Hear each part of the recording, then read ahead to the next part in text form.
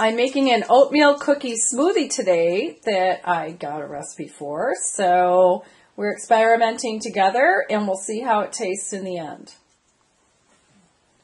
To make the smoothie, you're going to need a blender, and we're going to start with one and a half cups of almond milk. And if almond milk is not sold in the area where you live, or it's not, or if it's really expensive where you live, I'll link to a video where I show how to make it.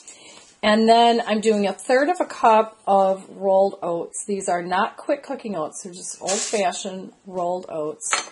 And then I have a frozen banana here, and I'll link to a video where I show the right way to freeze bananas for smoothies.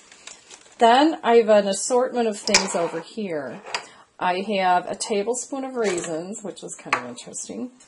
Um, a tablespoon of cacao nibs, which come in a bag like this.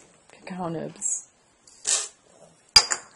And a tablespoon of chia seeds, which come in all kinds of ways. I bought them in a bag like this.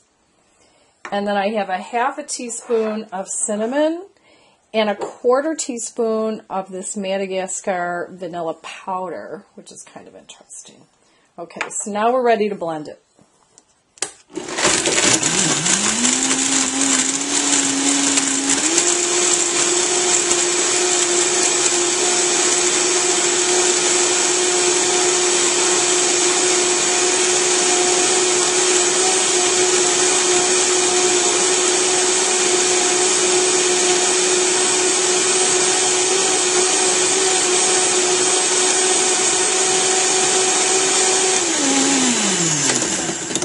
Now, uh, I'm not sure of the purpose of the raisins, and I might have used a date, but um, another option, I see the raisins bumping around in here a lot, so one thing I could have done is soak them in water for a half hour. I also hear some things bumping around, and sometimes cacao nibs don't break up real well.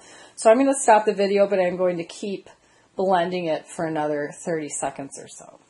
Okay, so now I'm ready to pour this. It might all fit in one.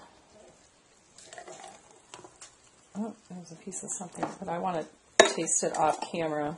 I'm not camera ready today. I want to taste a little bit and tell you how it tastes. Hmm. Yeah, it does kind of taste like an oatmeal cookie. So this is really good. It's a nice treat. Um, and a nice snack for kids. It's it has a little bit of sweetness in it, but it's not real sugary. So I recommend trying it.